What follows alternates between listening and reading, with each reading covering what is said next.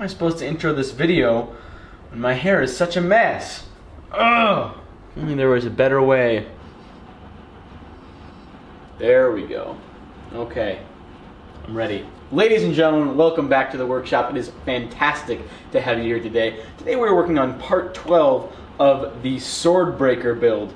Now, uh, in this episode, we're going to be moving on to uh, a pretty challenging part of it, which is going to be doing the fluting of the handle. So carving those round things that wrap around the handle. They won't actually wrap around it, they'll be carved into it. It's going to involve some math, sketching, and a heck of a lot of hand filing. So, let's get into it. So in the last episode, we did a bedded tang, which means that we covered the guard and the tang and the pommel in paste wax and then filled it up with epoxy so it has a perfect seat in there now.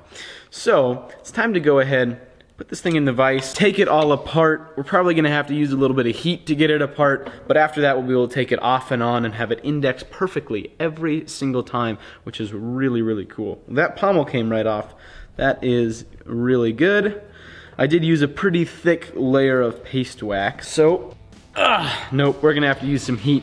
That's just fine, I was expecting that. Let's grab the torch. So we're heating up the tang so that it'll melt the paste wax on the inside and we'll be able to pull off that handle.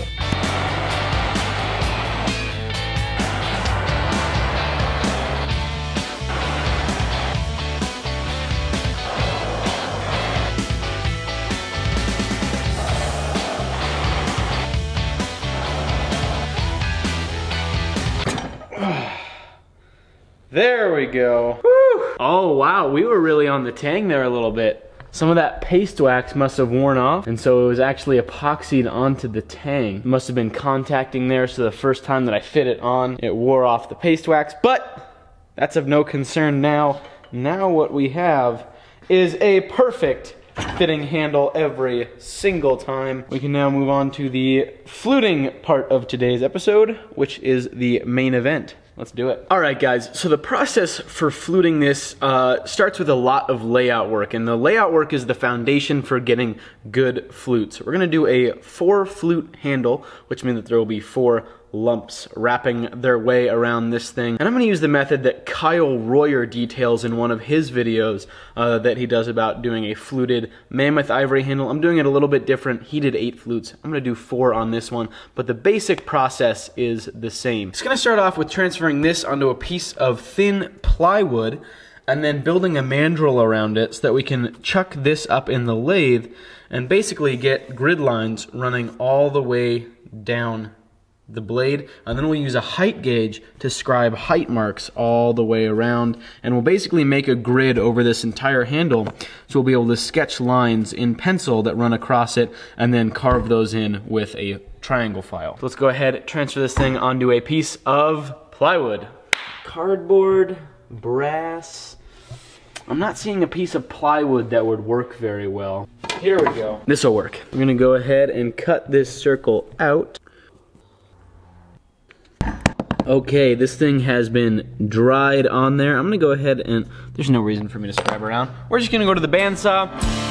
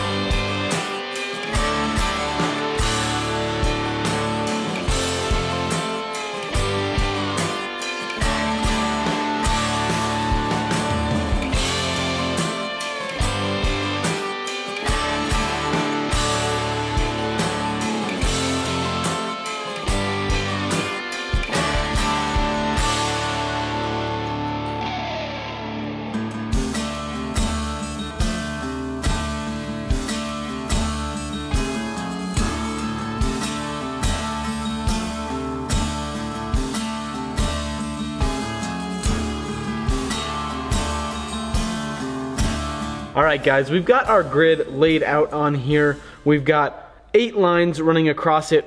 Only four of those matter. The ones that are on the uh, very edges here are the ones that actually matter. The other ones are just for reference. Uh, and then we've got one, two, three, four, five, six, seven lines scribed running the length of the handle. And those are going to be our reference points for uh, how far the down travel is going to be for each flute. It's now time to take a pencil and scribe in the lines running all the way down of where exactly we want to carve in the bottom of our grooves. Flutes can either go one of two ways. They can have hollows carved in for the flutes, or it can be a uh, like round lumpy flutes like we did on the cavalry saber. But on the cavalry saber, we only did one flute going around. This is going to be four flutes going around at the same time. So a little bit different, should look really, really nice. It's gonna be kind of tight. We'll be able to press that wire wrap in and make it look really, really cool. So take a pencil and uh, work our way around.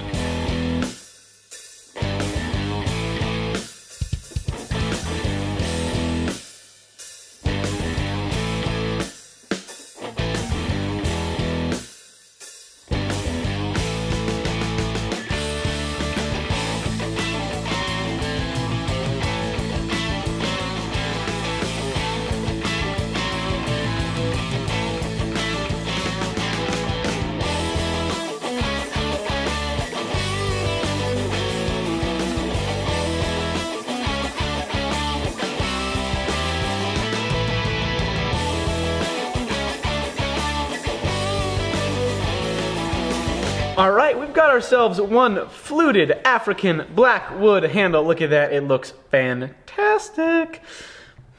I'm very sorry I used that voice. It won't happen again in this episode.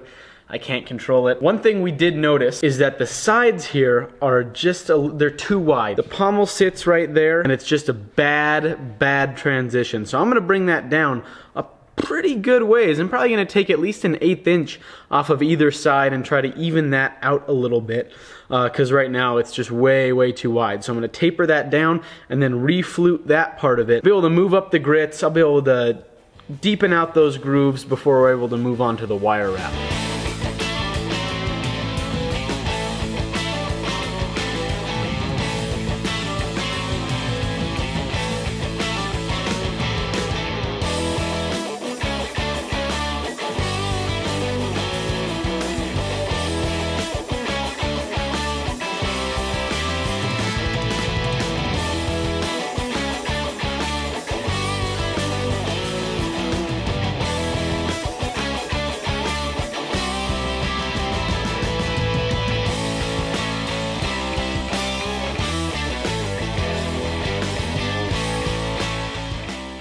Now right now it's very, very roughly filed. Everything is super, super rough. There's a lot of facets carved into it, and we don't want that. We want to smooth it all out. So the first step today is going to be taking a finer file and kind of smoothing out any of the lumps and the flats and all that stuff. We want to get rid of those. We want it to look nice. Before we do that though, I want to let you know, Alec is not dead. He's in Texas. Montana's better than Texas, by the way. Boom, take that, Texas. I'm just gonna go ahead and get to work on this while people harass me just it's to be utter harassment from the Texans here. And get to work on this sword breaker handle. Let's do it.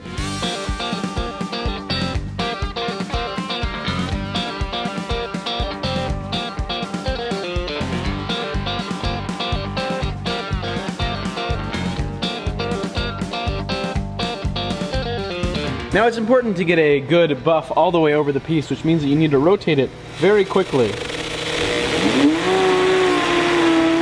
In other news, this is looking quite good. I'm gonna go over it again uh, to get into the bottoms a little bit more, but they don't really need to be all that nice because we're covering this thing in wire. So really the only part that is important is having the basic shape down nice and uh, nice and clean. I did the buffing basically to be able to check for scratches because it highlights scratches a lot better than pretty much any other method. Uh, and I'm not really seeing too many big dings or dents or anything like that. I see a couple areas that I need to touch up, but we're almost there.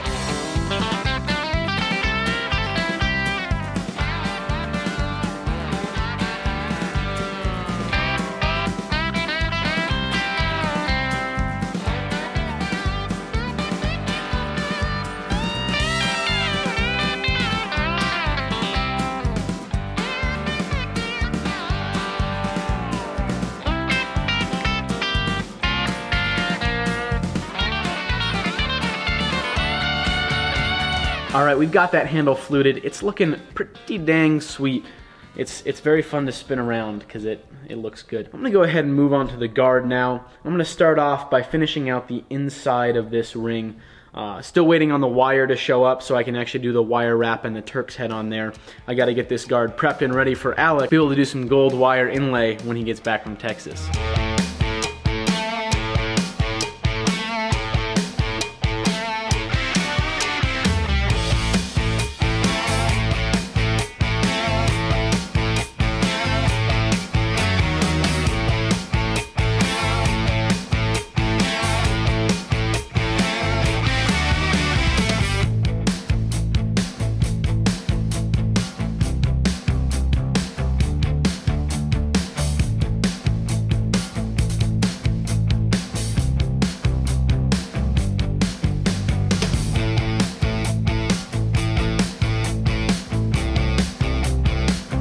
Okay, now that I've cleaned out the inside of the D-ring, I'm gonna go ahead and add the fullers that uh, separate out that last little pentagon from the end on these quillions. I'm gonna do that with a round file here. Uh, hopefully it's got a fine enough tip. I'm gonna have to pull back that shoulder a little way on both of them. Uh, just because this file otherwise isn't going to work. We're also going to have to thin down the tip of that a little bit. It'll offset a little ways there, so we're going to be thinning down that very end. I'll probably start off doing that and then move into doing the fuller all the way around in a very similar transition to that or this or that.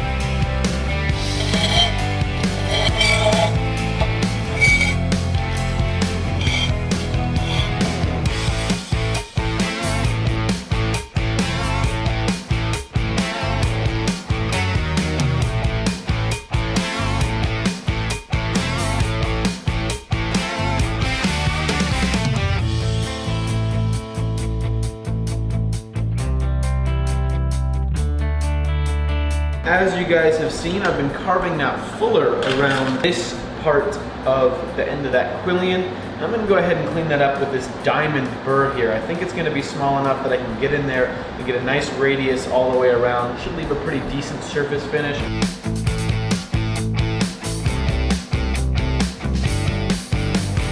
So that diamond burr did a fantastic job of cleaning out and smoothing out the inside of that little fuller in there. I'm gonna take this rubberized abrasive disc thing here and try to go around and clean up the inside a little bit more because it's still a fairly rough finish. We'll see how it works out.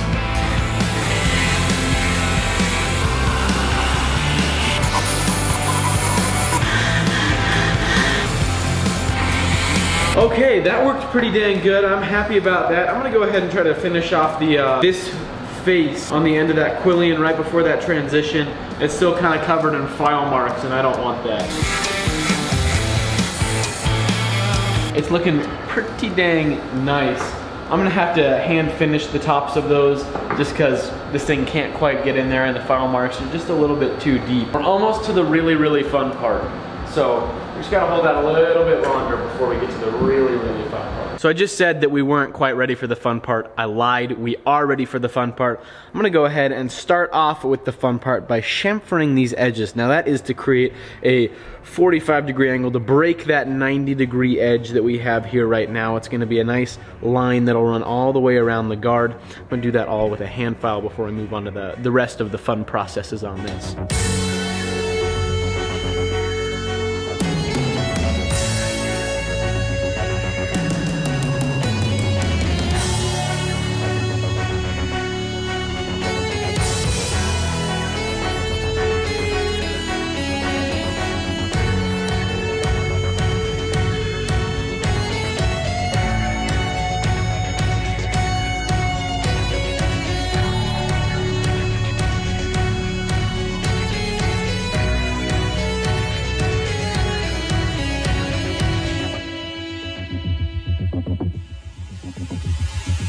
Righty ho, I've been filing on this for a good bit of time now. And I sent a picture of it to Alec, he's in Texas right now, and he mentioned that he thought that these are looking a little bit thick. And after thinking about it, I think I agree. I'm gonna take them down just a little bit. I think they're just a little bit too blocky right now, so I'm gonna take them down just like the smallest possible amount on the belt sander and then get back to filing in those facets, making them look nice. Let's go to the grinding room.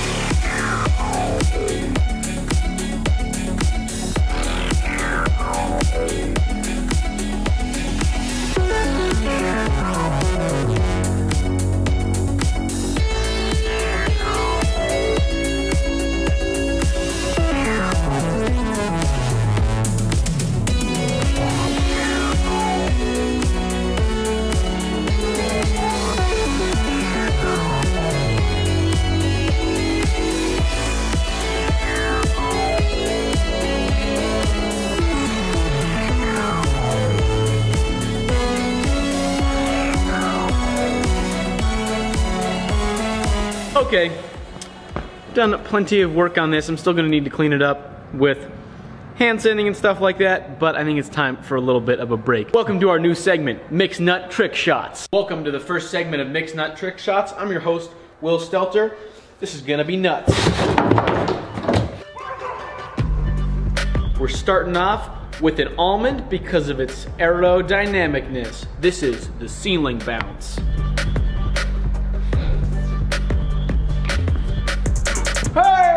Yes! Yes! Call this one the wall bounce.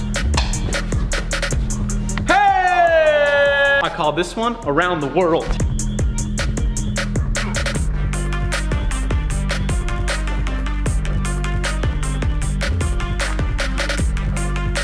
Mmm. So good. That's it for today's episode of Mixed Nut Trick Shots. I'll catch you on the next one. See you later. Wow, that was really good. Thanks, thanks, Will. I'm looking forward to the next episode. I don't know about you guys. I guess I'll probably find out in the comment section. But uh, I thought that was that was pretty good. Very impressive skills. Very different skill set. Pretty nuts.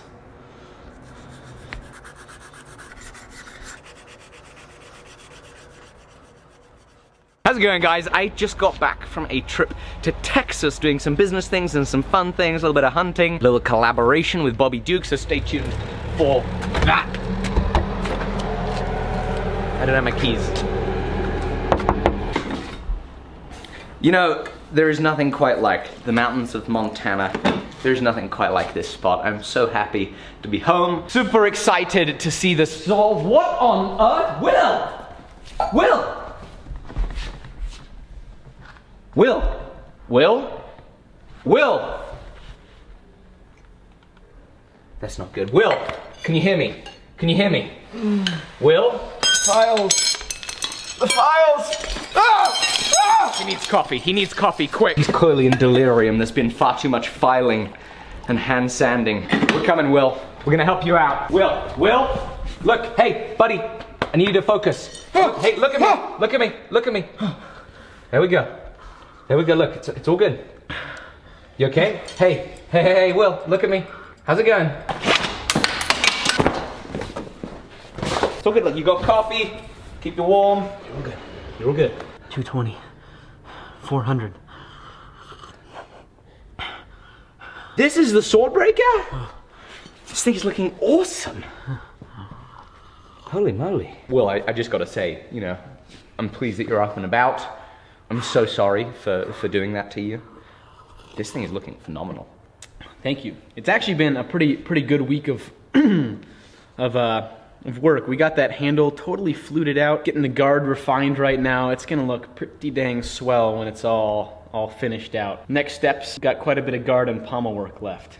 Oh yes, and something I was thinking about that we're going to address is we're going to address maybe lightening out this pommel, mm-hmm. finding a way to take some weight out of it so we can move the balance just a little bit more forwards. So what you're saying is that you hate it.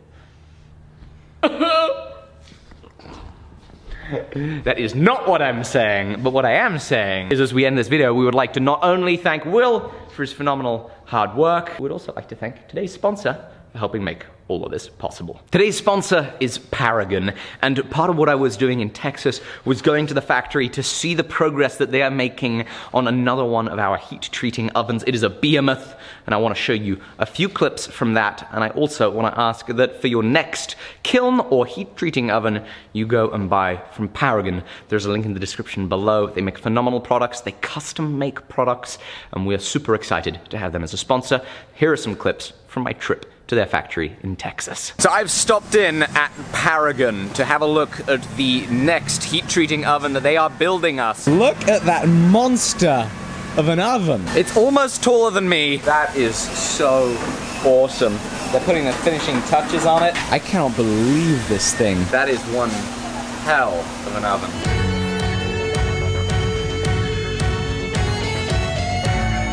So thank you, Paragon, for letting me come and see this beautiful piece of equipment that you are building us. We cannot wait to make some crazy swords with it. Thank you guys for watching, and a big, big thank you to Will for the great work on the sword breaker while I was gone this last week. We're super excited, lots to come this week, so thank you, thank you, thank you. See you in the next one. Bye-bye.